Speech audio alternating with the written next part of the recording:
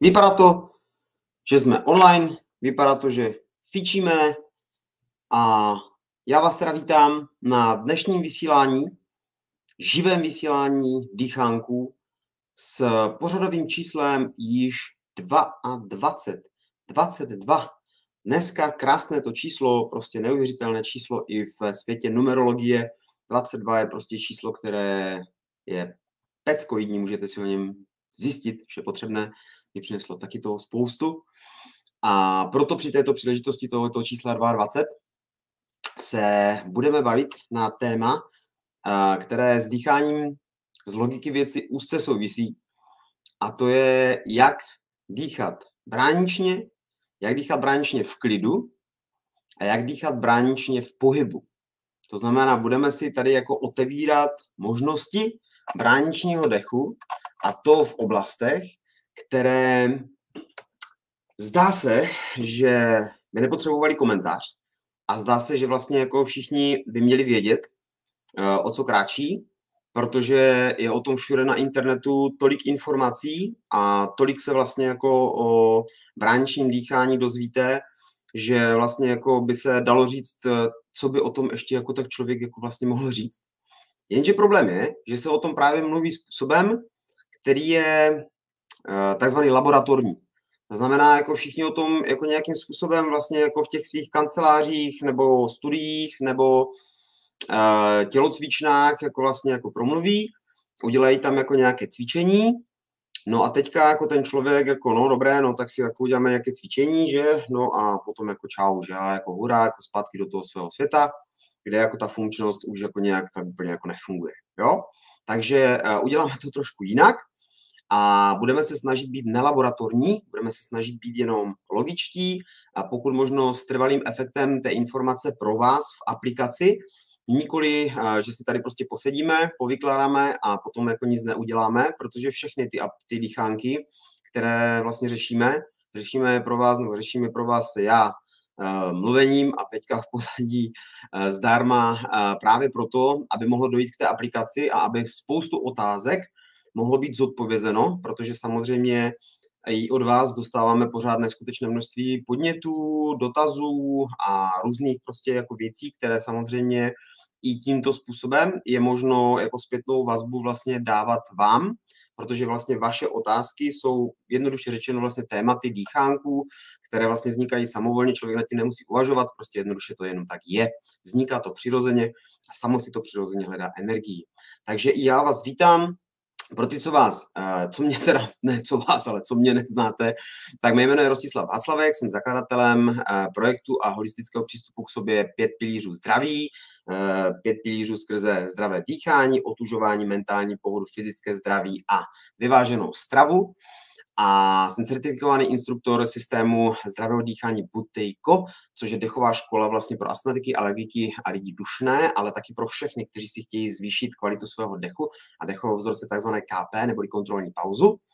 No a Master Instructor systému Oxygen Advantage, což je funkční dechová škola celoglobálního typu Patrika McCuna, s kterým, s kterým teďka vlastně kooperujeme na i nové struktuře celého systému Oxygen Advantage jako master instruktoři i s Jirkou Uhlířem vlastně nějakým způsobem rozvíjíme tady to dechovou školu na eh, území České republiky.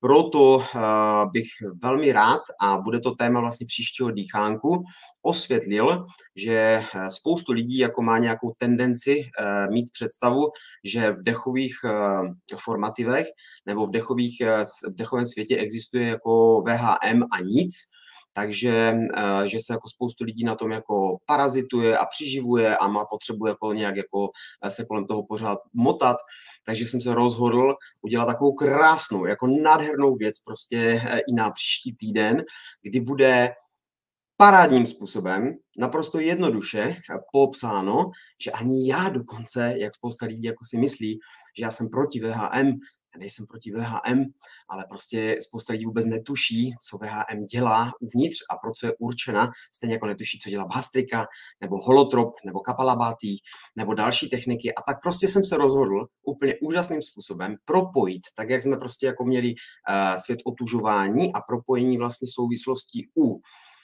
ponoru stacionárního a u otužování pláváním, kdy ani jeden svět já nekritizuju, protože používám oba a jsou mi oba blízké, ale každý slouží k něčemu jinému, což bylo vysvětleno na dýchánkách týkající se tohoto.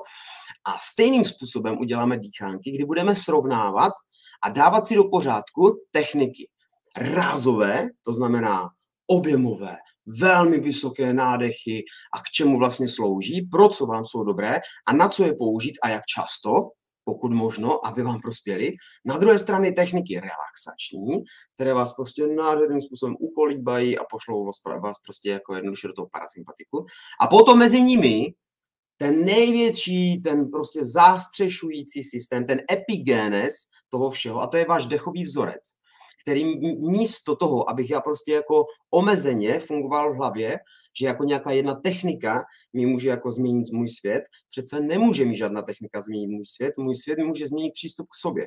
V souvislostech, v jemnosti a v pochopení toho, že i technika, která může naťuknout změnu, což třeba prostě jednoduše u spousty lidí mohlo být klidně, i VHM nebo jiné techniky, tak může vést k poznání, ale neznamená to, že prostě jako nějaký člověk, který má prostě nízkou kvalitu dechového vzorce, může dělat brutální rázové techniky, stejně jako člověk, který je vytrénovaný a má dechový vzorec prostě v úplně jiné kvalitě. A proto spoustu lidí vůbec netuší, netuší, nemají o tom ani páru, co se v chemii organismu děje a je v této chvíli už stovky e-mailů jako lidí, kteří vlastně si nějakým způsobem uškodili, když rázové techniky dýchání přehnali a dělali je prostě moc. A nikdo jim neřekl, že prostě jako moc není úplně dobře. Takže my si i příští týden uděláme nádherné, prostě kouzelné, propojující dýchánky na téma rázové techniky dýchání, oproti tomu relaxační techniky dýchání a mezi tím to propojující funkční techniky dýchání redukovaného, které vám mění dechový vzorec, což prostě jednoduše může fungovat v souladu, když pochopím, jak to v tom životě použít a nepůjdu si informativně proti, nebo nebudu prostě jak trdlo, pořád prostě si stát za svým, že jako představ toto, toto, to je prostě ten směr, tady toto prostě pojďme, bušme do toho těla prostě a to je jediné dobré, všechno ostatní je prostě špatně, jo? Takovým způsobem spousta prostě lidí má potřebu se vyjadřovat, takže nic není špatně.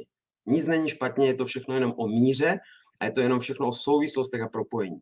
Takže proto je velmi důležité u toho bránčního dýchání chápat, co je a co není špatně, jak to použít nebo nepoužít, pro koho je co vhodné a jakým způsobem to hlavně uplatnit do svého osobního života. Každodenního, trvale, prostě změnit tu kvalitu a samozřejmě určitým jiným způsobem to bude fungovat u sportovce, určitým jiným způsobem to bude fungovat u člověka, který je nemocný, určitým jiným způsobem to bude fungovat u ženy, jenom podotýkám, že pro ženy i tady, teda podotknu, máme tady, protože se na to ptáte pořád, tady na tom odkaze ženy drahé je na 5pz.cz lomeno ženy pomlčka zájemci, anebo to dám tady velkým ještě, tady, jo, pro ty, co mají třeba brilky a nepřečetli, tak na tomto odkaze 5pz.cz lomeno ženy pomlčka zájemci se vás týká to, co jsme se bavili, co už nějakou dobu se připravuje a co se nějakým způsobem dotýká spousty z vás žen, a to je dýchání právě spojené s cykličností, dýchání spojené s bolestivostí nebo s menstruacemi, s migrénami, dýchání spojené s přechodem, dýchání, možnosti dýchání vlastně uh, u uh, porodu a po uh, té době vlastně době těhotenství a spousty dalších, což na tomto odkaze ještě jednou je to nezávazná registrace, nic tam e, neřešíte, jenom tam najdete přehled toho, co vás tam čeká na tom workshopu, který se připravuje už dlouho. Konzultuju to se spoustou lidí. Měl jsem i konzultaci z Anglie a teďka ze Spojených států v rámci e, žen, které se tím zabývají dechově, tak aby vlastně ty informace z hlediska funkčního dýchání byly právě poskytovány ve smyslu souvislostí a chápání, že každý člověk to prostě a jednoduše má u sebe trošku jinak a že to není o tom, že se zastaví ve vývoji a že bude prostě jako jak hluchý a slepý jenom opakovat něco, co někdo prostě někde udělal, ale že se konečně přece začne poslouchat, že se začne vnímat a že začne rozumět tomu tělu a začne v jemnosti a postupnosti prostě s ním zacházet, tak, aby mu bylo dobře. Dnešní téma je tedy spojeno s bránicí, s bráničním dýcháním a s tím, jakým způsobem s tím zacházet, pokud možno, abych vlastně vůbec v životě rozpoznal, že si prospívám tím dýcháním a že ta bránice vlastně nemusí být jenom řešena někde na lehátku nebo na zemi, kde já si prostě jako skrčím nohy, dám si knížku na bříško a začnu teďka jako simulovat prostě to, to brániční dýchání, což je jako super. Je to věc, kdy vlastně to můžu nějakým způsobem objevit, když vůbec netuším, že nějakou bránici mám nebo kde vlastně je, čemu mi slouží ale je dobré vlastně začít aplikovat uh, ty techniky bráničního dýchání do toho dechového vzorce jako celku. To znamená začít bráničně dýchat 22 tisíckrát denně. Já vám tady nebudu dneska posouvat žádné prezentace, prostě žádné grafy a žádné prostě věci, přestože toho je mraky. A právě protože toho jsou všude mraky, tak si o tom řekneme eh, v praxi, řekneme si prostě eh, přímo, jak na to a jakým způsobem vlastně se sebou bránčně zacházet tak, aby bylo pochopeno, že v klidu je brániční dýchání odlišné, naprosto odlišné a musí být odlišné od bráničního dýchání v pohybu, kdy spoustu lidí v tom pohybu právě absolutně nemá šanci spustit brániční dýchání, protože vlastně povolují takzvaný HSS, hluboký stabilizační systém, jenom tím, že si myslí, že prostě jako dýchání do bránice znamená, se dí, znamená dýchání do bříška, že povolí vlastně břišní stěnu, tím pádem se vlastně nahrbí dopředu a voila, a mám prostě jako brániční dýchání. Sice jsem to totálně zborcený, ale vlastně jako, vlastně dýchám dobře, protože oni říkali přece, že se má dýchat do bříška. Takže řekneme si vše k tomu, že není jenom důležité rychlost, objem, ale je důležitý i směr, je důležité vlastně to, jakým způsobem ten dech používám funkčně ve smyslu stavu, v kterém se ocitám. A to, že mě má zajímat právě dech 22 tisíckrát za den, to znamená ten, který mě tahá uh, životem, buď funkčně nebo dysfunkčně, daleko víc než jednotlivé techniky, je jasné. To je prostě věc, kdy já ten dechový vzorec nějakým způsobem chováním k sobě ovlivňuju. Pokud budu permanentně bušit do dechového vzorce a budu ho přetlakovávat, tak samozřejmě z principu toho, co se v krvi děje, což je prostě Bohrův efekt, se vlastně v principu této chemické reakce stane jediné a to je, že naučím to tělo nalepovat obrovským způsobem ten, tu molekulu kyslíku na uh, hemoglobin a ta se nedostane potom uh, skrze krevní řečiště vlastně do těch tkání a neokysličí je. To je vlastně celá věc, pokud budu hyperventilovat. U žen velká míra hyperventilace a školy vlastně dechové, které vedou k hyperventilaci. Už teďka v současné době bylo zjištěno, že jsou to prostě jako ve smyslu hormonálních nastavení nesmysly.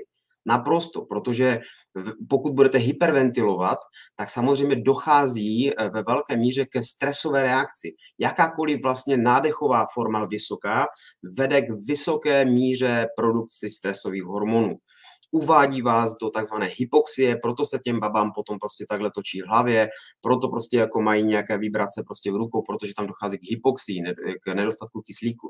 Proto je důležité vlastně začít řešit to, jak mám dýchat během normálního života běžně, tak, abych si kvalitu toho dechu opravdu zajistil, abych byl vlastně jako spokojen ve smyslu funkčnosti uvnitř, co se týče chemie těla, tedy nejenom práce s uh, produkcí toho kyslíku samotného a jeho distribucí do těla skrze těch 125 tisíc kilometrů kapilár do eh, nejenom svalů, ale do tkání a hlavně do mozku, aby ho okysličil, aby mi prostě způsobil to, že mě bude dotovat energeticky, aby mi nějakým způsobem nádherným mohl dávat tu energii a samozřejmě sekundárně, abych svoji endokrinní soustavu, tedy moje hormony, ovlivnil tak, abych se nestresoval.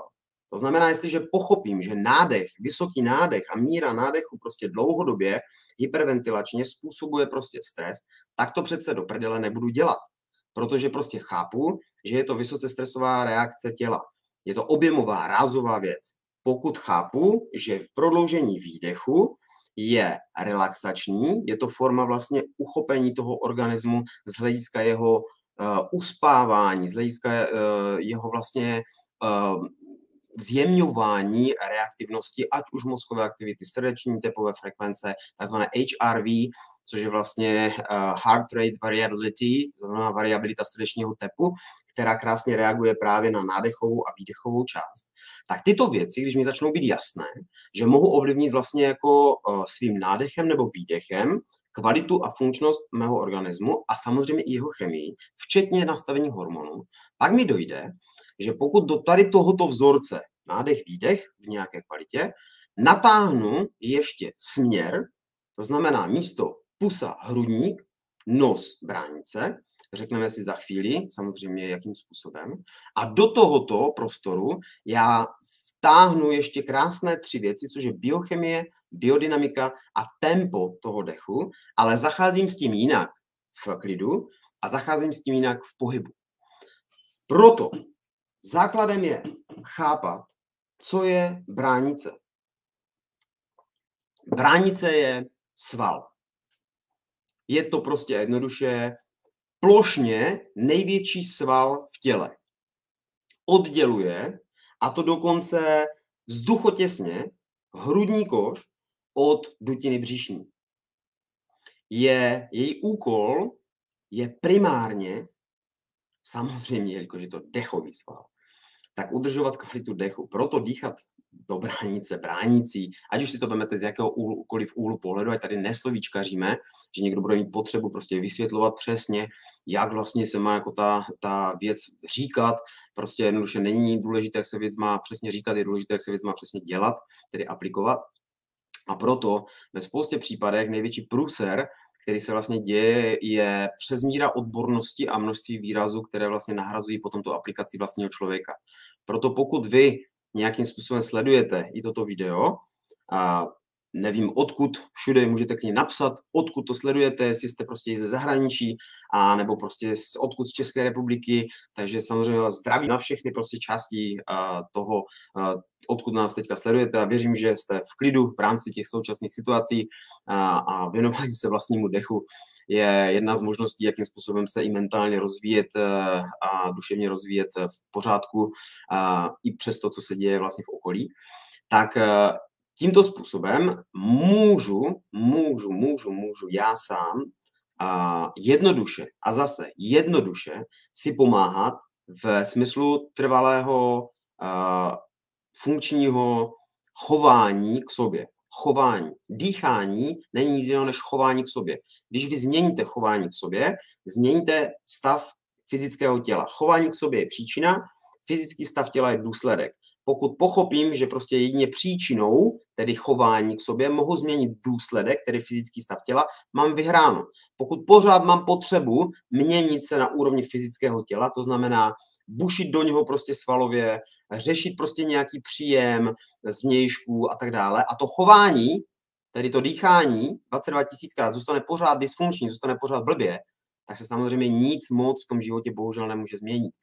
Vente si, že fakt třikrát až pětkrát denně jíte, desetkrát až dvanáctkrát denně pijete, 22 tisíckrát dýcháte. Takže prostě to dýchání a jeho vliv je neodiskutovatelný. Je to prostě krása, je to prostě nádhera, když to člověk pochopí, když mu to dojde, že to prostě může ovlivnit a že prostě je taková věc jednoduchá, jako je dýchání, může změnit jeho stav, fyzický stav, jeho nálady, jeho energii, jeho kvalitu života každodenně. Prostě je to pecka.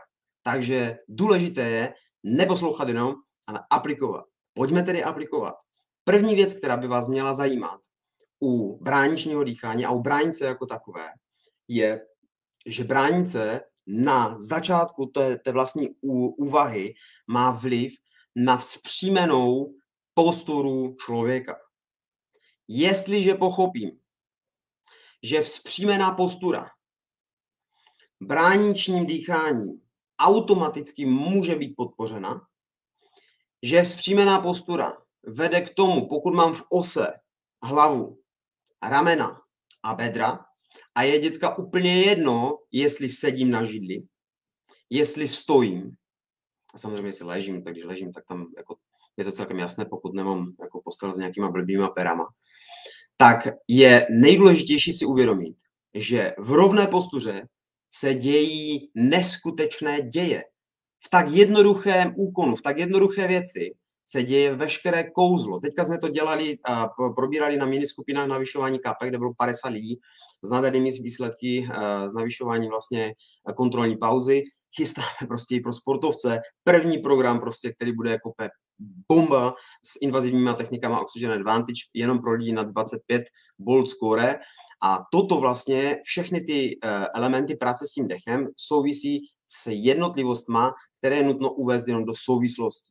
Souvislostí znamenají, že mi dojde, že pokud budu prostě v ose, jsem v práci, dám příklad, budu sedět prostě na židli, sedím tam 6 až 8 hodin.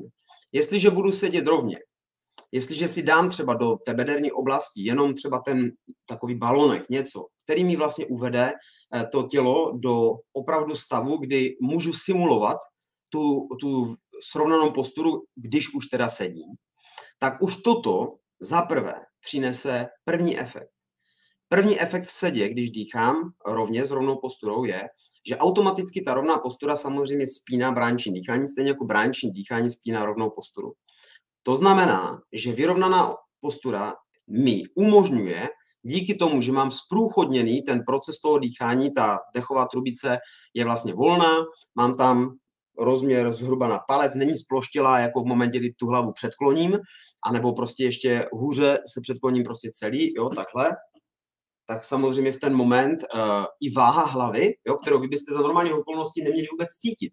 Vy byste hla, váhu hlavy vlastně měli mít, pokud je nad osou těla, tak její váhu byste neměli téměř cítit. Měla by být prostě jako uh, vůbec jako rozpoznatelná. V momentě, kdy vám samozřejmě prostě jako klesá dolů, tak se tím úhlem brutálním způsobem navyšuje i ta únavost, únavovost toho, že to, to tělo musí tu hlavu nést a samozřejmě s ploštěním té, té dechové trubice se vám okamžitě strašným způsobem zhoršuje vlastně dýchání jako takové. Už ho přetlakováváte, už ho dostáváte vlastně do úrovně, eh, kdy není úplně eh, ideální. To, co se děje sekundárně při dýchání, které vlastně vede z nosu do bránice, je, že pokud ho zjemníte, tak v ten, a začnete řešit ten objem a rychlost, tak jak se o tom pořád bavíme, ale nikdo prostě si to neuvědomuje během tak normálních věcí, jako je třeba uh, mluvení, kdy vlastně, když sedíte a melete pantem, telefonujete, s kolegou prostě hovoříte, spousta lidí u toho prostě to dělá takhle. No tak jako teď něco řeknu a teďka prostě jako dobře, tak jako ještě si něco povykládáme a včera si tam jako byl jako nebo ne a teďka prostě takhle to probíhá a ten nádech je tam sekundární, není tam primární. Primární je řeč a vůbec nechápu, že pokud já nedýchám nosem redukovaně, nosem do bránice redukovaně, během mluvení, tak se celou tu dobu, co mluvím, celou tu dobu se přetlakovávám. Celou tu dobu jsem ve 100% saturaci. Celou tu dobu vlastně hyperventiluju, aniž bych to tušil. Kdybych si vzal oximetr, tak mi změří 99% prostě kyslíku a vím, že jsem v přetlaku a prostě distribuce kyslíku je zastavena. Proto jdu do únavy. Nikdo umluvení téměř neřeší kvalitu dechu. Všichni řeší, ani u dětí, všichni řeší prostě nějaké formy artikulace, hlavně artikulují správně, ale že by někdo prostě řekl jako malým dětskám, jakým způsobem mají dýchat umluvení, jak je důležitý dech, důležitější než ta mluva samotná, kam ten dech vlastně patří v té řeči, jakým způsobem vlastně se naučit a nasimulovat, na což je jednoduchá technika, jak vlastně zvládnout prostě to dýchání umluvení. A toto vlastně jsou věci, kdy nedojde těm lidem, že můžou dělat jakékoliv techniky světa a nic se nezmění, protože vlastně to okolí, ten epigenes, který si vytvořili, dýchání umluvení, dýchání u pohybu, špatná postura usezení v práci a tak dále, vytváří tak vysokou dysfunkci, že žádné techniky světa, jestli potom zajedete prostě jako někde, jako udělat 10 minut nějaké techniky a potom se vrátíte do té dysfunkce vlastně toho běžného života, tak se nezmění. Nezmění, nemají jak. To znamená, změňme chování k sobě a začneme bráničně dýchat tam, kde je to potřeba. Co je to dýchání do bránice? Je to dýchání nosem do prostoru mezi, se zvednu, mezi vlastně hrudním košem a břichem, když to udělám takhle. A vlastně samozřejmě, já to můžu dělat takhle.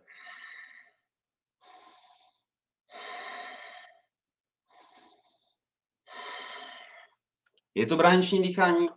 je, poslouží mi to k něčemu? No, nevím na jak dlouho.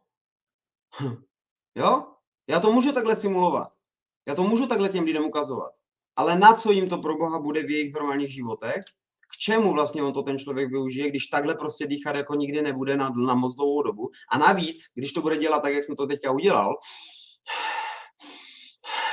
tak si nikam nijak neprospěje, protože rychlost a objem toho vzduchu je taková, že mu okamžitě zastaví distribuci vlastně do kyslíku, kyslíku do tkání, jenom díky tomu, že se předýchává, že hyperventiluje. Proto je důležité pochopit, že brániční dýchání kvalitní, pokud už by mělo být hlubší, a teď se dostáváme k těm jednotlivostem, které si začneme dávat dohromady. Pokud já mám začít dýchat bráničně více hluboce, tak jen tehdy, když mám problémy s takzvanou třeba chronickou sníženou saturací, což jsem právě říkal u toho videa s postcovidovými nebo s postvirovými stavy, kde je spousta plicních alveol, nebo plicních sklípků, napadena, zdevastována nebo slepená, prostě je zdysfunkčněna v té spodní části plic.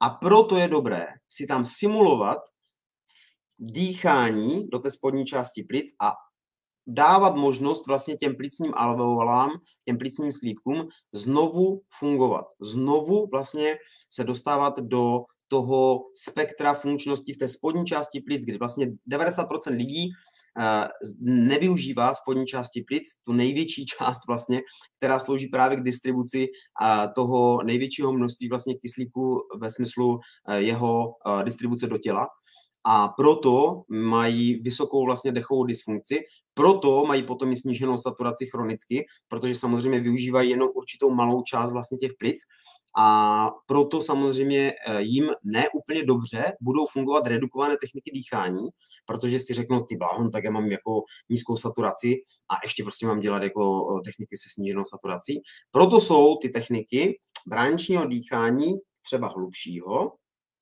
na tyto stavy důležitější, protože vlastně tam je, důležitá, tam je důležitý směr, kam vedu ten, ten, ten nádech, tedy do spodní části plic, a je, důležitá, je důležité takzvané tempo. Tempo jsou doby. Spousta lidí má různé formy uh, chaotického dýchání. Není schopen ten člověk vlastně udržet bráničně tempo toho dýchání, že by měl být vlastně jakoby nádech a výdech po stejnou dobu.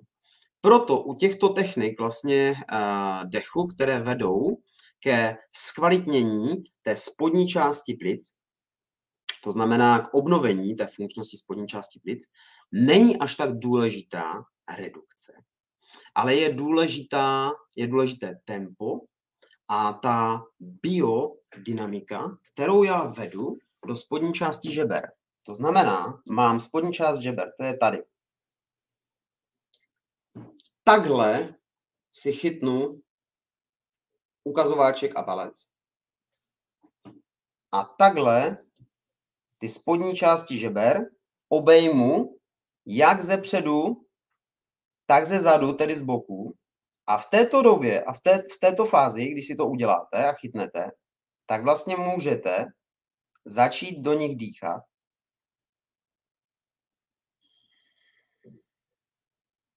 na tři doby. Tři, dva, tři, dva, tři, dva, tři. Já se teďka jenom dám dolů, abych vysvětlil, proč toto by člověk měl dělat a kdo by to hlavně měl dělat. Měl by to dělat ten, to znamená trénovat brániční dýchání, v postuře rovně. Je to, jak kdybyste vzali provázek, zatáhli prostě za něj, vytáhli se nahoru, mezižeberní prostě prostory se vám krásným způsobem roztáhly, tělo vám jak kdyby rozkvete, prostě najednou se má úplně jinak. Najednou, když prostě jako hmm, hmm, tyjo, to je paráda. Není to ty kokso, to je zas den. Ale je to, wow, to je den, to je pecka, to je luxus. To je absolutně odlišný přístup k sobě samému. nikdo nechápe, že, nebylo, že, že tady toto je tak obrovská změna, a to i hormonálně bylo prokázáno, bylo, byla udělána studie na asi dvou tisících mužích, že v momentě, kdy byli v postuře této, tak se zhruba o 40 až 50 navýšil kortizol, stresový hormon. V momentě, kdy prostě eh, testovali ty muže, když byli v postuře, kdy to dýchání, mozková aktivita, snížila se vlastně objemová forma dýchání, to znamená navýšilo se množství NO, oxidu dusnatého, tak ten člověk, ještě navíc chlap, šel do takzvané testosteronové manie, testosteron jsem mu navýšil, zkvalitnil jsem ještě produkce růstového hormonu a do, spousta dalších prostě sekundárních efektů, kdy vlastně jako i ta nálada a všechny ty věci najednou jsou lepší a ten člověk si říká, ty co se děje, jako jo, to je nějaké kouzlo, jako, že mi je najednou lépe. A to je všechno jenom tím, že téměř nikdo se nebaví o souvislostech dechu, postury a chemie organismu, biochemie, reaktivnosti na úrovni hormonů jenom proto, že změním dýchání a změním posturu těla.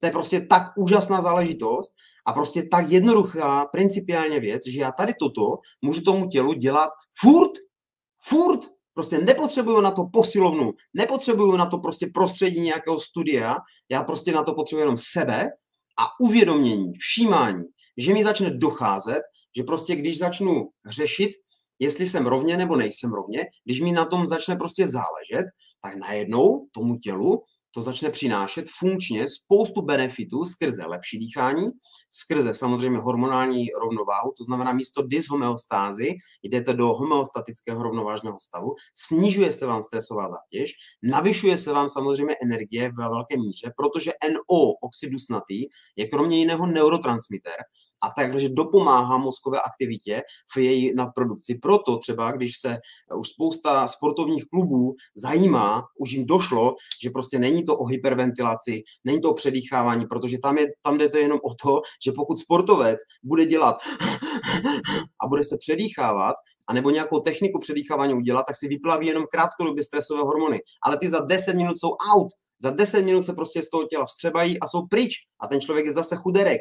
Jo? V momentě, kdy ale začne prostě řešit distribuci kyslíku funkčně do organismu, začne řešit prostě vliv na to, jaká je chemie jeho těla dlouhodobě v aerobní zóně, jakým způsobem je možno zabránit vyplavování kyseliny mléčné, jakým způsobem je možno prostě řešit distribuci EPA, erytropoetinu, vlastního, ne změšku, vlastního erytropoetinu, jak navýšit hematokrit prostě v krvi, jak, do, jak doplnit vlastně jako prostě tuto nádhernou složku, kdy vlastně nikdo nedochází, že já nepotřebuji nic zvenčí. To tam všechno uvnitř je. Stejně jako hospodáření s vodou. Když nikomu nedojde, že prostě jako když se aktivizuje, a ten stres samozřejmě vede k tomu, že vy obrovským způsobem vyčerpáváte vodu z těla. Vemte si jenom prostě telefonek a kujejte. Toto je obraz vašeho hospodaření s vodou nosem. Vidíte to, tu stopu? A teďka pusou, jemně.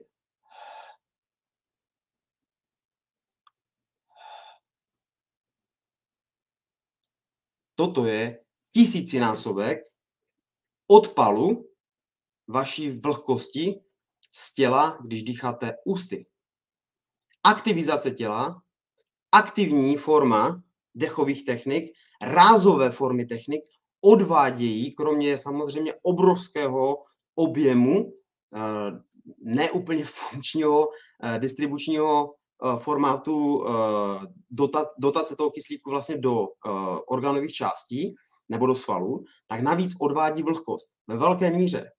A pokud pochopím, že já můžu vést vlastně funkčním bráničním dýcháním nosem při sníženém objemu do toho těla ještě, ještě navíc další vin, a to je hospodárnost s vodou, kdy prostě já nebudu potřebovat takové množství vody, do těla dostávat zvenčí, stejně jako nepotřebuju toho kyslíku zvenčí, protože funkčně začínám využívat ten kyslík saturační, ten útrobní.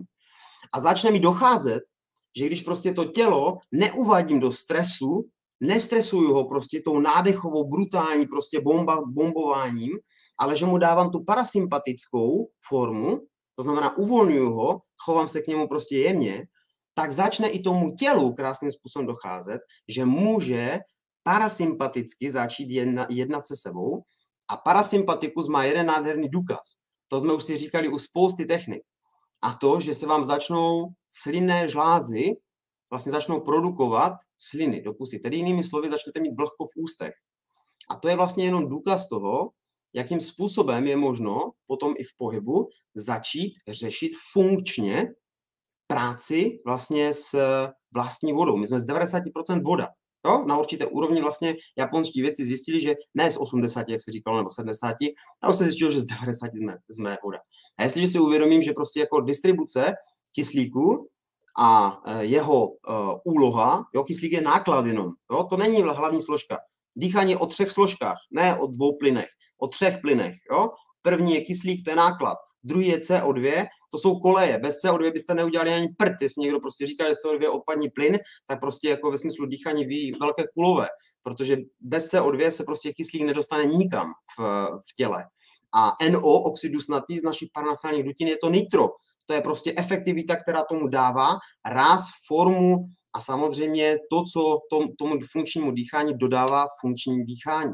To je prostě smysl, že i sportovním klubům konečně prostě třeba dojde, nebo to dochází firmám. Teďka jsme měli prostě jako krásné team buildingové aktivity ve firmách, kdy prostě jako spoustu lidí, spoustu manažerů, vedoucích pracovníků má vysoce stresové prostředí a začíná zjišťovat, že v tomto prostředí sebe sama se přece nedá existovat, ne?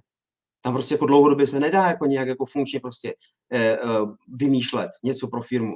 A nedá se tam prostě jako i ty pracovníky jako nechávat prostě jako ve, ve smyslu nějaké dlouhodobé je, eh, přes míry aktivity, aby, aby jako všichni prosperovali.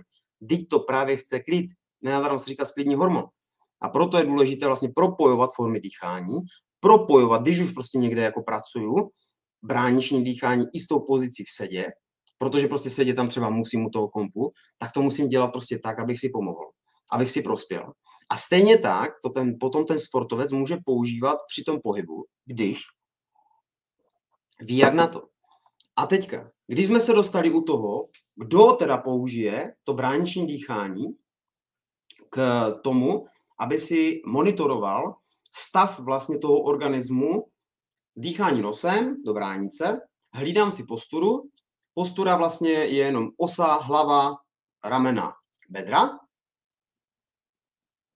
a dýchám. Bránit se za normálních okolností by se neměla hýbat víc než 2-3 cm. Není proto žádný relevantní důvod. Spousta lidí uvádí, že vlastně si myslí, že tam ani nedodechne. Že vlastně jako jim to skončí někde tady. Jo? Toto není brániční dýchání. Pokud vás dech jako jde do hrudníku a opírá se tlakově o hrudní kož, což samozřejmě způsobuje tlak samo o sobě, protože hrudní kož je prostě kost a vy tam tlakem vyvíjíte vlastně, prostě musíte te, ten koš prostě nad, nadmout, tak samozřejmě je důležité si monitorovat, co to znamená brániční dýchání. Pokud ani toto člověk neví, tak pak ano, pak je v pořádku, že si vlastně dá ruku na hrudník, dá si ruku na bříško a bude si monitorovat, aby se mu ten hrudník vůbec nezvedal. To znamená, ten dech je potom neviditelný. Proto se říká, že je neviditelný a neslyšitelný. Jo? Takže aby se nezvedal, tak já budu jenom dýchat do toho bříška.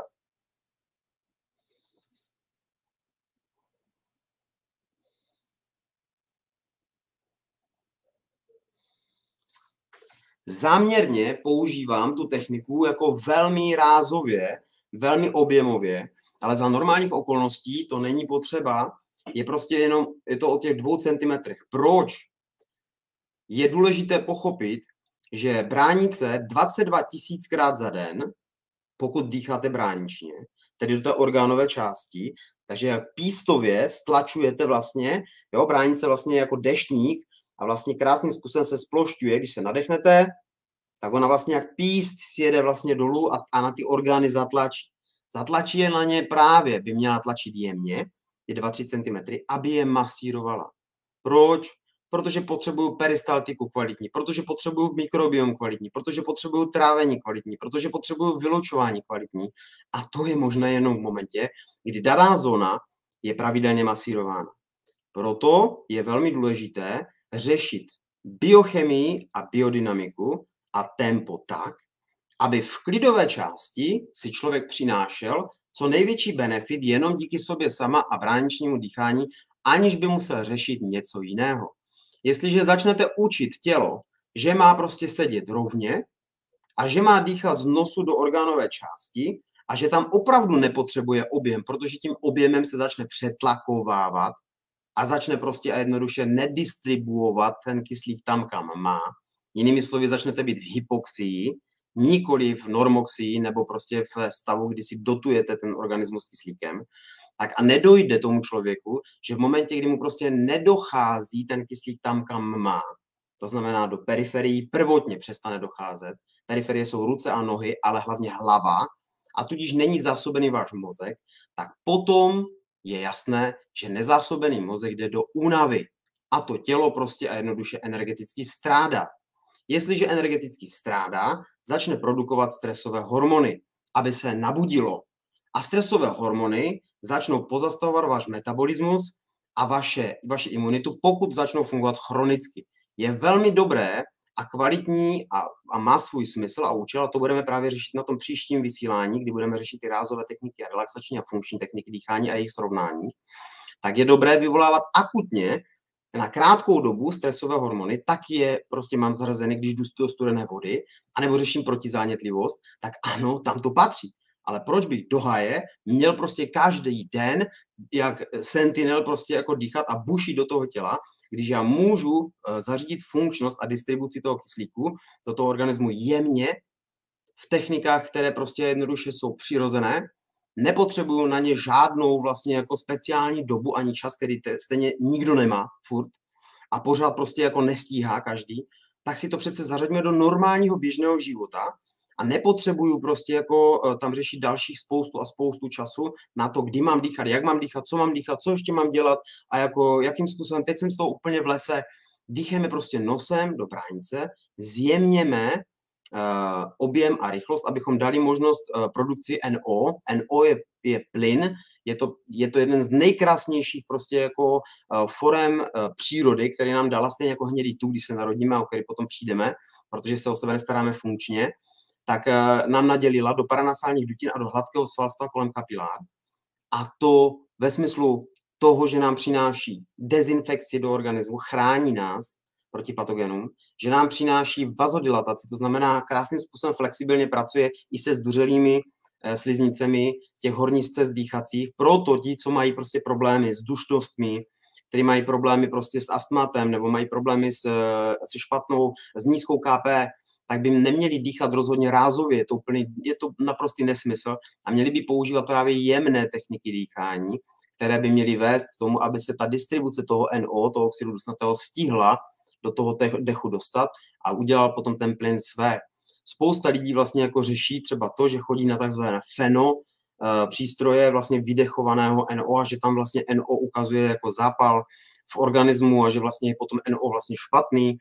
Je to věc, kdy e, je spousta studií na to, že vlastně NO tam je pravděpodobně v tom výdechu proto, že díky právě dysfunkčnosti plic se nestíhne absorbovat a proto se v tom výdechu objeví. Nicméně je spoustu různých rozporuplných jako věcí ve smyslu toho, že by oxid dusnatý přímo byl spojen s nějakými zápaly v těle, co se týče jeho vlivu na ty zápaly. On je pouze prostě monitorem s velkou pravděpodobností jenom proto, že ty plíce dysfunkční nestihnou vlastně absorbovat typicně alveoli tu molekulu, která je jednou z nejjednodušších molekul, jednou z, nej, z nejmenších molekul a prostupuje napříč vlastně tkáněmi a u toho redukovaného dýchání, kde já snížím ten objem a rychlost, tak mi umožňuje vlastně díky svým vlastnostem, ještě jednou opakuju, kromě jiného je neurotransmitter, to znamená pomáhá neuronovým spojením funkčnosti, pomáhá vlastně mozku eh, k koncentraci, umocňuje schopnost vlastně paměťové stopy a uh, tu práci toho člověka uh, zjednodušuje, co se týče jako dotace té energie, tak tady v tomhle ohledu, pokud já začnu uvažovat, tak mi dojde, že prostě dýchání nosem do bránice má x rovin užití. Jemnost, jednoznačně, snížení rychlosti, jednoznačně, snížení objemu, jednoznačně, postura, jednoznačně, pokud vlastně vezmu uh, to je ta biochemie, to znamená objem a rychlost, snížím. Biodynamika, vezmu vlastně, že by měla opravdu, pokud neznám, tak si nasimuluju, že by měla jít do této oblasti spodní části žeber a začnu si na tři doby nádech, raz, dva, tři, výdech, dva, tři.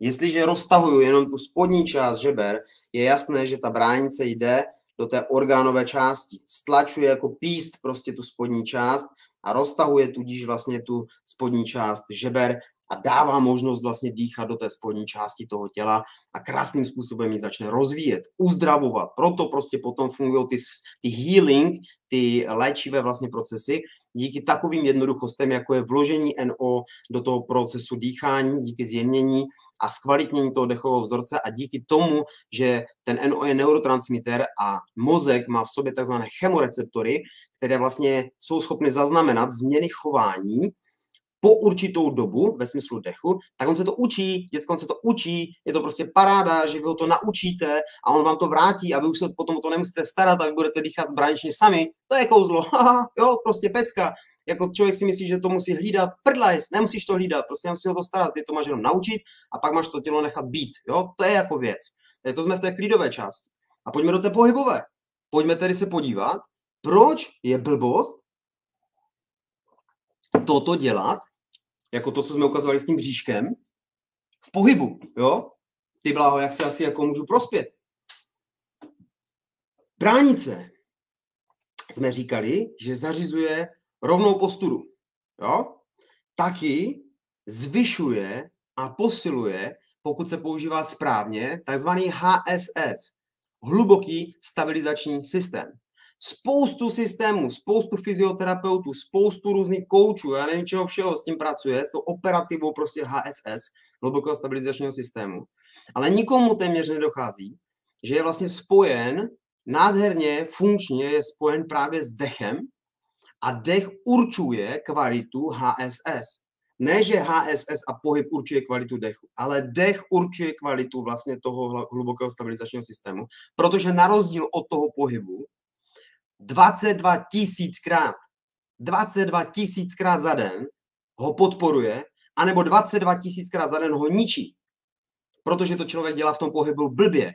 Pohyb, teďka myslím chůze, pohyb myslím rychlá chůze, pohyb myslím běh, klus, jakýkoliv vlastně formát pohybové aktivity, kterou když budu dělat prostě s blbým formátem bráničního dýchání, tak samozřejmě si nepomůžu. Nemám jak prostě, jako, nemám jak to, to, to tělo podpořit a ono mi to samozřejmě vrací.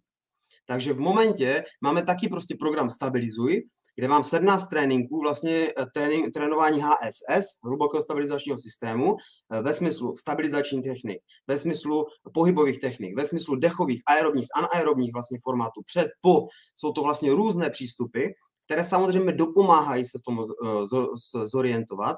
A i tady ten program je možné prostě využít, ale není to nutné. Je to prostě o tom, že mi musí dojít jedna věc. Jedna věc. A to je, že jestliže já jdu, tedy jsem v chůzi, tak já přece nemůžu, já se teďka postavím zase, jsem ve stoje. A teď bych se jako rozešel, jo? Takže bych vlastně jako šel a teď bych udělal toto, že bych se do tady toho bráničně nadechl do bříška. Toto jak to břicho vypouknu, tak okamžitě to tělo by šlo dopředu. Okamžitě by se z, z, z, prostě z, z ohlo, okamžitě by se zbortil ten hluboký stabilizační systém. A proto já jsem vymyslel prostě jako systém postupných cviků, dechových, spojených potom s pohybem a samozřejmě i fasciální či, které taky součástí toho systému stabilizují. Nicméně je to hlavně o tom, že vy si uděláte revizi přístupu k tomu, co je v pohybu nutno udělat. A to, že vám dojde, že bránice, jak už jsme si řekli, je přece kopule, že jo? Ona se splošťuje. Nesplošťuje se směrem jenom do bříška, do břišních svalů, ale splošťuje se do boků a splošťuje se do beder. Tedy tlačí do těch beder, jo, když vlastně se jako pís tlačí dolů, tak vlastně tlačí do nich stejně jako do boku a dopředu. Proto, jestliže já v pohybu chci začít funkčně řešit HSS, tedy hluboký stabilizační systém, a chci, aby mi prostě fungoval, chci, aby mě podporoval, chci, aby prostě jako jakákoliv sportovní aktivita, kterou si provádím, byla prováděna tak, abych zaprvé dotoval to tělo kyslíkem, aby moje svaly byly zásobeny tak, aby se nespouštěla kyselina mléčna a já jsem nešel do únavy. To znamená, musím používat prostě saturaci nižší než je 99. To musí každému dojít, že pokud prostě jednoduše bude mít saturaci z kilo, tak prostě víc už nejde a už se jenom přetlakuje a ten kyslík prostě do těch tkání nepůjde. A prostě ten člověk se dřív nebo později, aby ty svaly nebyly přetrženy při té nízké míře okysličení, tak prostě jednoduše radši to tělo udělá, že chemicky vypustí kyselinu mléčnou a ta ty svaly zalije a uvede je do únavy. Co je ale sekundárně samozřejmě pro to sportovce blbé, je, že se mu sníží výkon velice brzy. A to je samozřejmě při jakékoliv formě hyperventilace. Takže je rozdíl, jestliže já prostě udělám nějakou techniku, na 10 minut budu mít stresové hormony, které mi způsobí, že místo 10 kliků dělám 30 a si říkat, ty vole, tak to chci, a výkon, prostě krása, paráda. A na druhé straně, vlastně potom, když ty stresové hormony odejdou, tak vlastně už nemám nic a ještě navíc prostě jako si to tělo odchází od výkonu, tak je důležité si uvědomit, jestli není lepší pro, ten, pro tu aktivitu, a to je jedno, jestli jste re, rekreační sportovec, nebo jste vrcholový sportovec, nebo jenom to chcete na výstup nahoru, nebo to chcete vlastně u těžké práce, nebo to chcete prostě, když jdete z nákupu, je to jedno, protože vlastně ta postura a to dýchání u toho pohybu by mělo prostě závi, by mělo zajímat každého. Každého člověka by to mělo zajímat. A právě proto i tady toto vysílání jsem se rozhodl, protože vlastně ta biomechanika, biochemie dechu a tempo se dělá prostě v programech, dělá se prostě v uzavřené formě a nikdo to potom neví a je to prostě bordel, že prostě jako tady ty informace k těm lidem jako nejdou běžně a ti lidi si to nejsou schopni sami v těch životech měnit, protože je to to nejpěknější, co můžete udělat, že si začnete všímat toho, jak se k sobě chováte ve smyslu dýchání a u toho pohybu je to ještě o to důležitější, protože v klidu si jste schopni ten dech monitorovat, protože to tělo vlastně neřeší ten pohyb. Jenže v momentě, kdy řešíte pohyb, tak to tělo zapomíná na dech vaše dechová kvalita u pohybu by měla být vždycky operativou kvality toho pohybu. Tedy mělo by vás vždycky zajímat, jak dýcháte a kvalita dechu by měla určovat kvalitu vašeho pohybu. To je základní premisa, já jsem si to dal prostě jako, protože jsem to vymyslel, tu větu, je to, je to, je to záležitost, která je prostě velmi důležitá, kterou si prostě jako každý by si měl prostě jako vtlačit do hlavy, že kvalita dechu by měla určovat kvalitu pohybu, nikoli opačně a jak tedy dýchat do té bránice při tom pohybu, jakým způsobem tedy to měnit, je v podstatě zase jednoduché.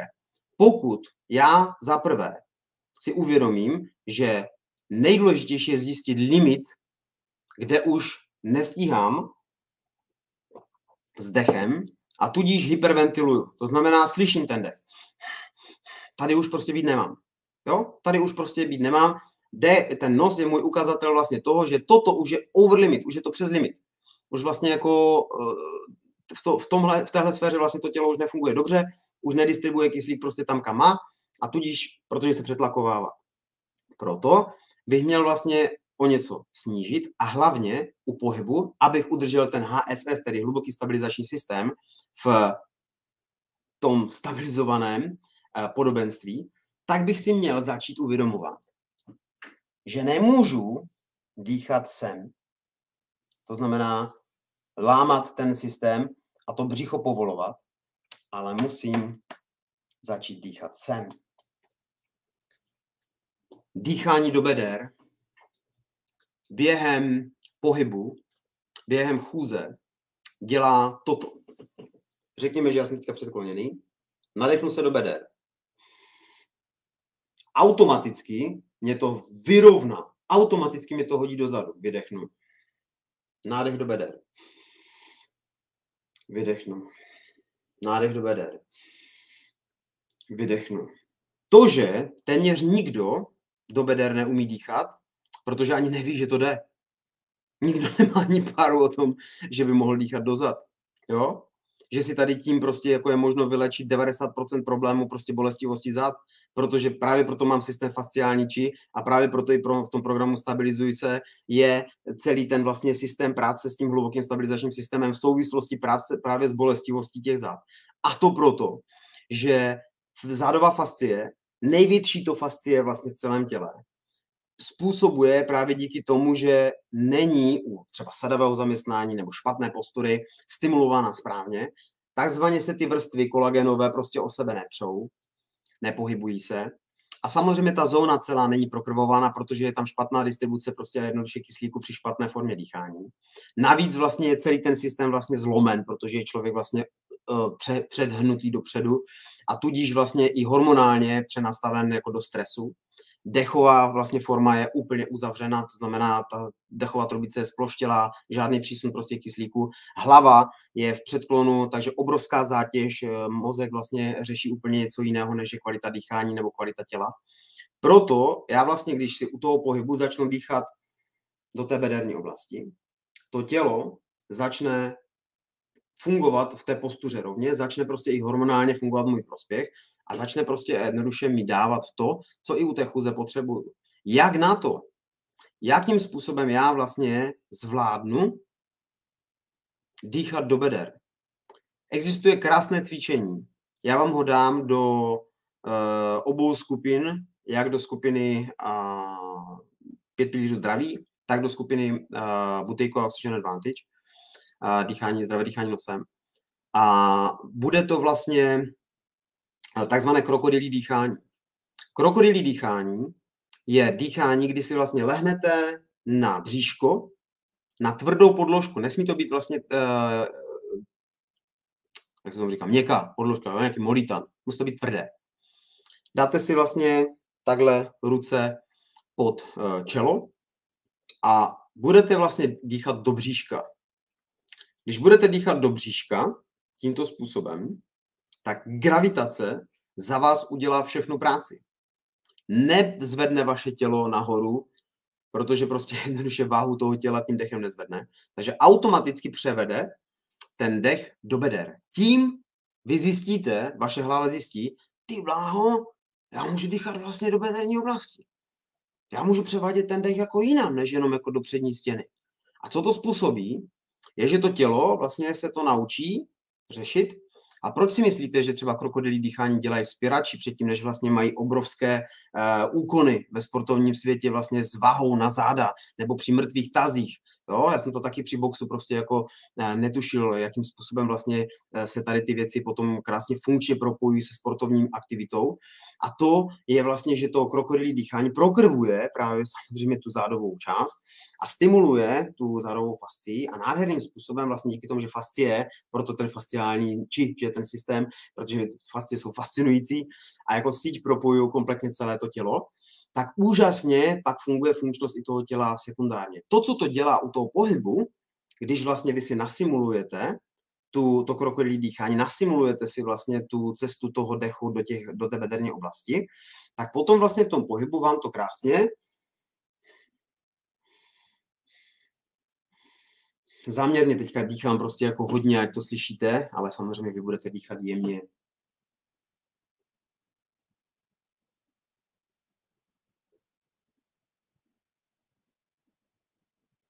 A v této formě dýchání si v chůzi, nejprve v chůzi, vždycky se člověk musí vrátit. Jo? Všichni mají tendenci dělat jako veškeré ty úkony dechové v činnosti vysoké intenzity.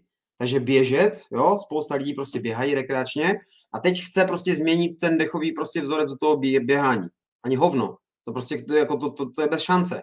Jo, když tam prostě u toho běhání jako zavřete pusu a budete najednou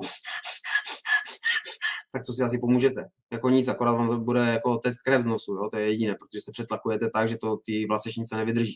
Takže vy si musíte uvědomit, že musíte vlastně poodejít z toho piedestalu výkonu a ega a prostě nějakým způsobem začít se sebou funkčně znovu vytvářet tu funkčnost toho těla v jiném spektru a proto je důležité vlastně pracovat potom na tom navyšování bolt score a navyšování vlastně té, toho, neboli kontrolní pauzy a toho dechového vzorce, který vám potom umožní i v tom pohybu distribuci toho kyslíku bez problémů, protože se nebudete přetlakovávat a ta saturace se bude držet prostě v nějakých hodnotách 94-95 i ve výkonu, což je základ, takzvané jemně kyselé dýchání, přestože si jako zase lidi říkají, ty vole kyselost, to je blbé, ne?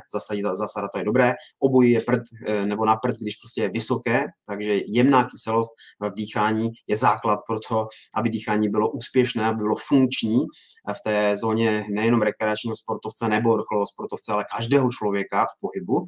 A proto je vlastně důležité řešit objem a rychlost, to znamená zjemnit a vpouštět, pokud možno, vlastně při té chůzi, opravdu ten, ten eh, nádech do bederní oblasti, eh, spíše než do té břišní. Proč ještě navíc a co se tam potom děje, když já se nadechnu do beder, to tělo jde do rovna, automaticky se mi ještě navíc sepnou břišní svaly. Krásným způsobem se stabilizuje a zafixuje centrální oblast těla a ta mě potom vede v, při tom pohybu tak, abych si neublížil, abych nedevastoval to tělo i na úrovni pohybové aktivity a abych mu prospíval. Proto dýchání v klidu, brániční dýchání v klidu, je naprosto odlišné od bráničního dýchání vlastně v pohybu, kdy v tom pohybu do toho dávám ten segment, že já neříkám, že dýchám jinak. Já jenom přesunu tu pozornost vlastně u toho dýchání v tom pohybu více do té bederní oblasti a krásným způsobem pracuju s tím tělem, že ho pořád nechávám jako prostě tu královnu nebo toho krále prostě být jako fakt v té, v té, v té postuře, v tom nádherném prostě jako propojení jako s tou přírodou, ale v té normálnosti, že to chápu, že to je funkční, že chápu, že je to prostě i na endokrinní, na hormonální úrovni prostě vysoce přínosné, že si prostě dotuju energeticky to tělo skrze kyslík, skrze zásobení mozku, skrze to, že mi prostě stresové hormony ne, nezastavují prostě metabolické reakce nebo nespůsobují prostě uh, to snížení imunity. A potom prostě lidi se ptají strašně moc jako na to, jak mají vyřešit tady ten problém, jak mají vyřešit tady ten problém. Já říkám jednoduché, změňte chování k sobě. Změňte chování k sobě skrze jemnost, neočekávejte výsledek za týden, protože ten se nedostaví. Jestliže se k sobě chováte hnusně pod dekády, tak za týden nepřijde žádný výsledek. Přestaňte hodnotit prostě nějaký cíl, kdy už to bude dobře a jenom se věnujte v pozornosti vlastně tomu, co vám funkčně přináší nějakou hodnotu do života. Dýchání a jeho prostě užití v trvalé hodnotě každého dne, ať už v bdění nebo spánku, přináší neskutečné, neskutečné benefity. Ale není to samospasitelné a vůbec to není prostě jako řešení na jeden týden. A že potom jako, vlastně co, co potom jako, tak potom už může zase jako dýchat jako blbě, nebo, nebo, nebo jak.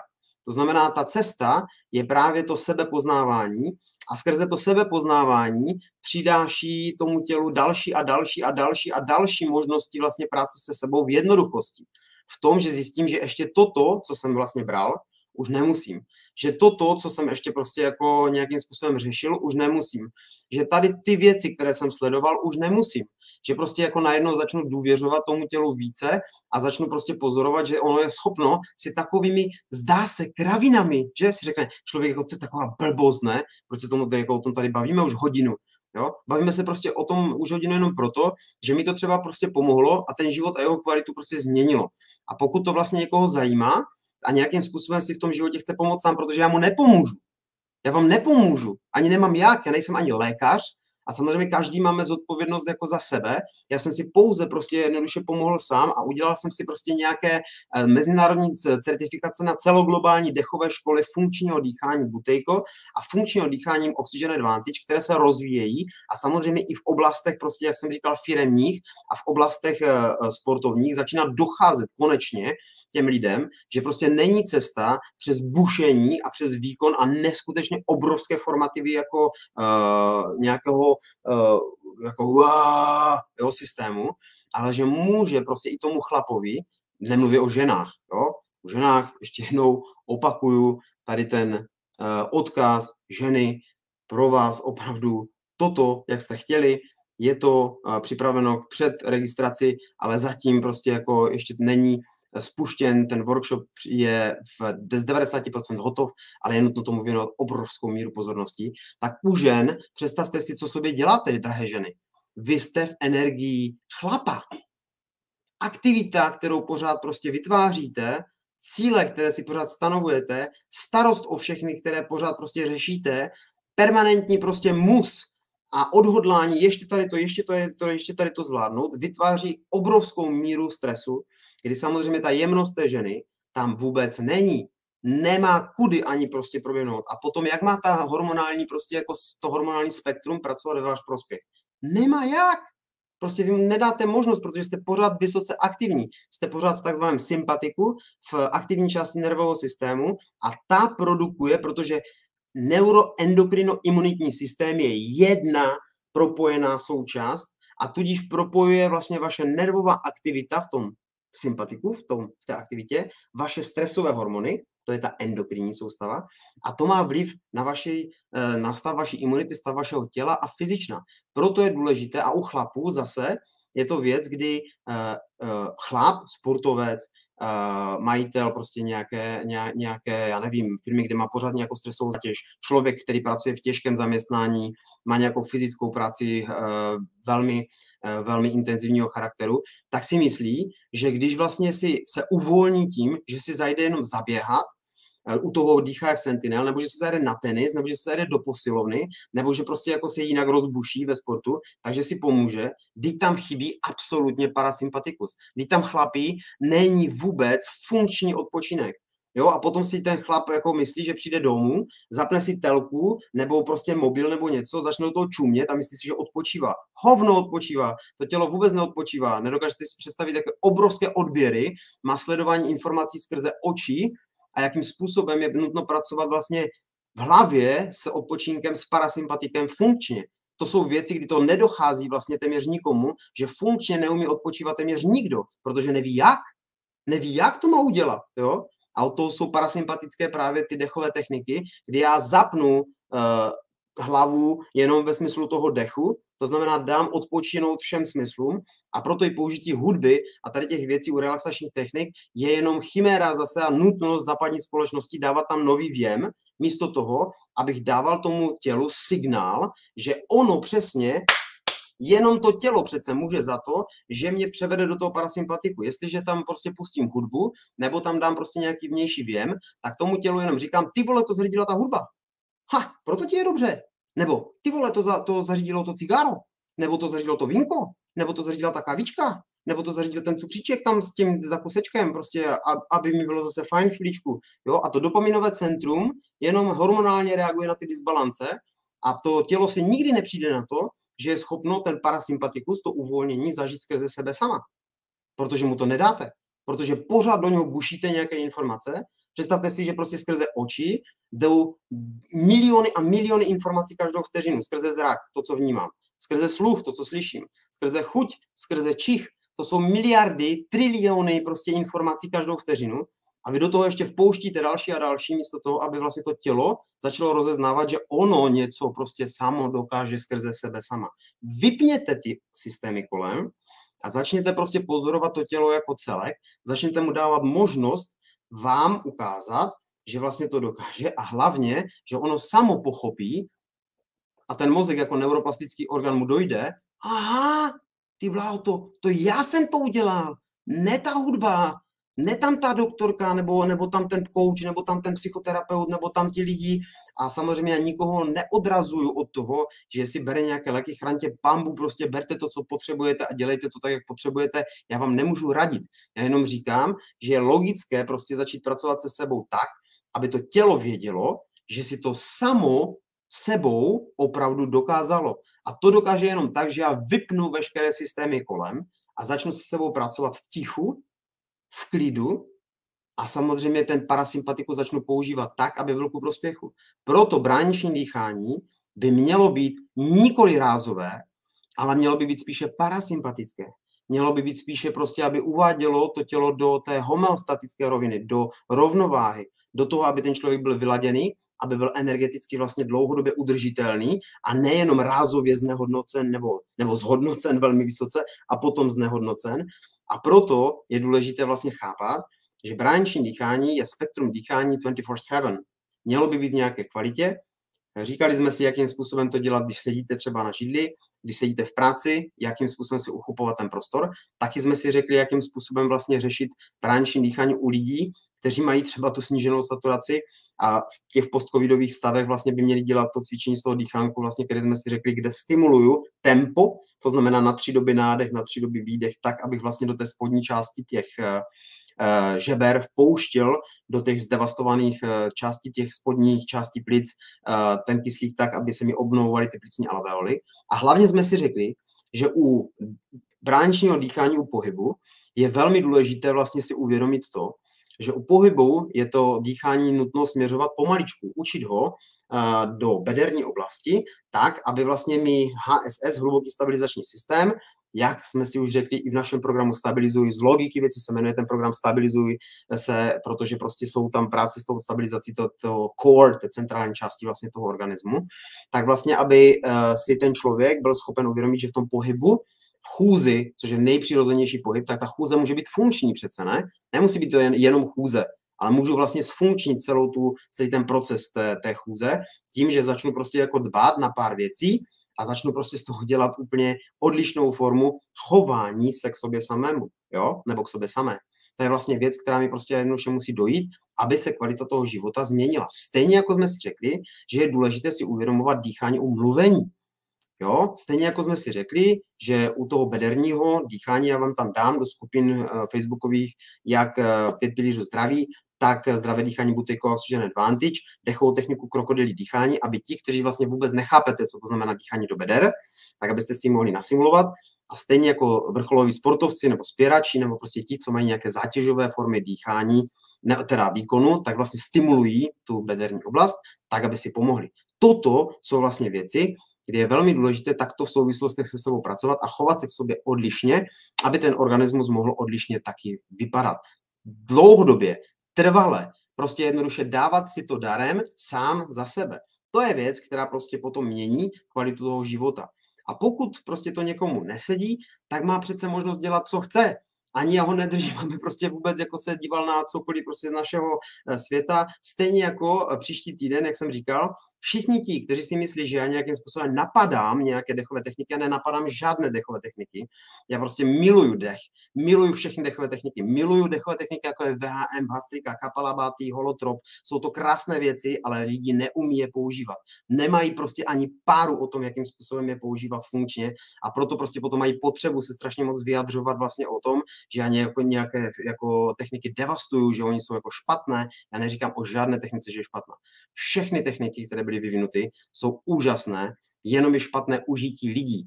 Je špatná frekvence, je špatné umocnění, že to ego toho člověka, jenom protože někde uslyší, že ty vole, někde někdo něco nějak dělal, tak to budu dělat tež vůbec nerozumí svojemu tělu, nikdy s ním nepracoval, ale chce tam vpouštět razové formy technik, které vlastně vůbec netuší, co s ním udělají. Nakrátko prostě se něco třeba zlepší a pak se dlouhodobě něco zhorší, ale vůbec neví, co se s ním děje a proč. Jo? Proto říkám, že je důležité uvádět ty věci do souvislostí a začít rozumět. A normální člověk by měl být přesně ten, který by měl rozumět těm technikám nejvíce, protože přesně ten člověk je potom schopen operativně tvořit kvalitu svého života a i proto tady tyto vysílání prostě dělám, protože si myslím, že to chybí že ve společnosti naprosto chybí pro normálního, logický, prostě uh, selský uvažujícího člověka, který odsuzuje nějaké duchovní formy prostě jako dechových technik, takže mu nedochází a že se připravuje prostě o to, že si nespojí pět a pět dohromady, že si může prospět ve svém životě, stejně jako je to firemní svět, stejně jako je to sportovní svět. Já jsem měl i ve sportovní škole krásnou tu zkušenost. Jo? Dneska jsme byli na uh, snowboardu pro, pro, kluku, pro kluka od, uh, od Peťky, že si tam prostě pojezdil, potkal jsem tam bývalou kolegyni z práce a bavili jsme se vlastně o tom, říkal, tak co, jak se ti daří? Říkám, prostě super, nádhera, je to prostě, je to prostě pecka, prostě je to radost, eh, jako i jak, jakým způsobem to funguje u lidí a tak dále. A říkám, no, jako, že jako prostě teďka v tom sportovním klubu a že tehdy jako se tam měli dělat nějaké ty rychlé techniky, říkám, no, měli. Když tehdy jsem vám to prostě nabízel, ještě nějakým způsobem vlastně jako, eh, aby to, aby to v tom klubu bylo využito za nějakých podmínek vlastně jako úplně zdarma tehdy. A bylo mi řečeno, že vlastně všechno tam už jako všichni ví.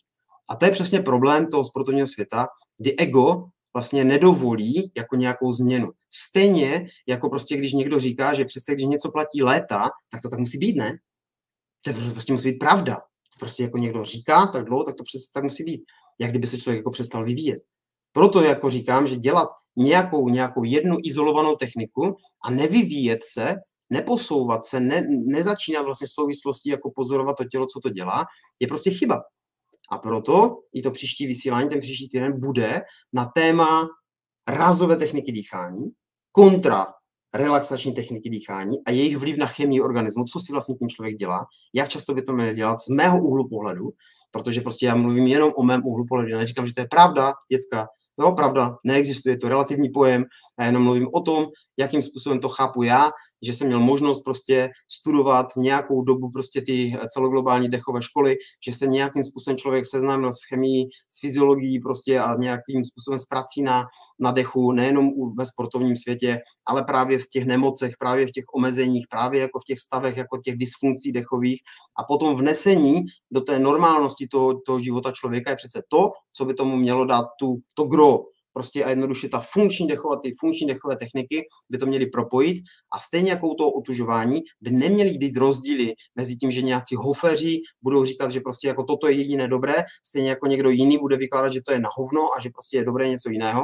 Všechny ty techniky jsou dobré k něčemu, ale lidi by měli vědět, proč se dělají jak často by se měly dělat, k čemu slouží, co v tom organismu způsobují, jakým způsobem vlastně jako já se mám zachovat, když mi prostě u nich je blbě a vůbec nevím, nerozumím tomu, co se mnou děje. I to lidi neví a nikdo jim to neřekne. A vykládá se tady nějaká nesmyslná pohádka o tom, že je úplně jedno, jakou dírou dýcháš.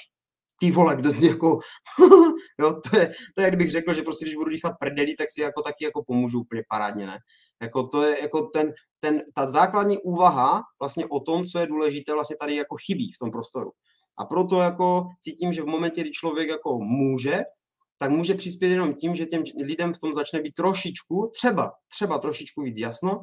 A jelikož to prostě i pomohlo mně ve smyslu kvality toho života, tak to jenom prostě z toho přebytku energie posouvám dál.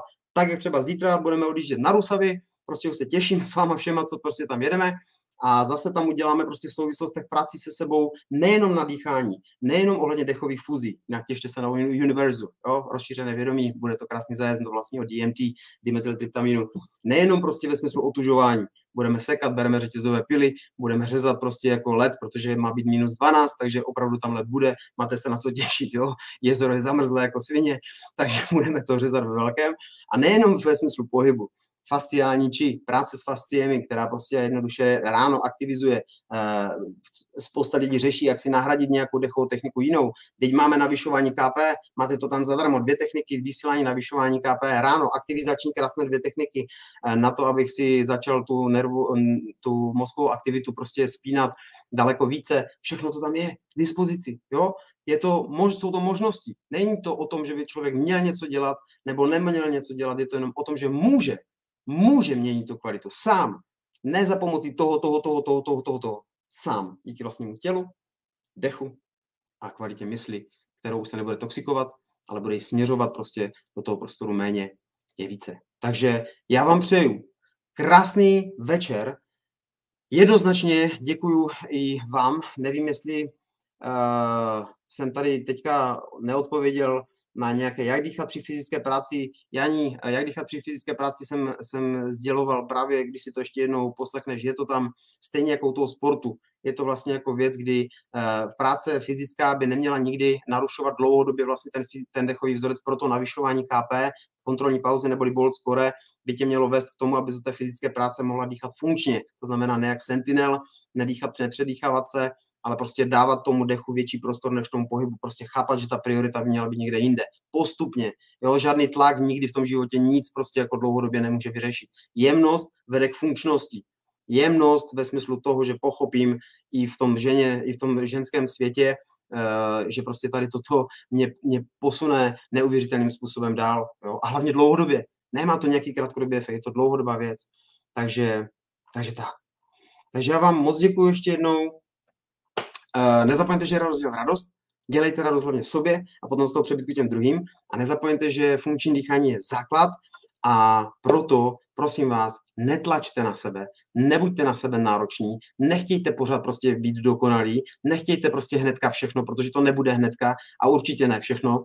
Vždycky to bude jenom nějaká část, která ale v tom pucle toho, té kvality toho života prostě vám něco prostě dalšího může přinést a rozhodně se neizolujte do nějakého užití, nějaké jedné, jediné prostě jako věci, ale stavějte si ten dům zdraví postupně díky sebe sama, vztahu k sobě, jemností prostě k sobě a toho, že to může pozvolna vést k vyšší kvalitě, která třeba mě trvala půl až tři čtvrtě roku, než se vlastně jako to tělo pochopilo, schopilo a dalo se prostě na ten pochod směrem k funkčnosti od té vysoké dysfunkce, které bylo předtím.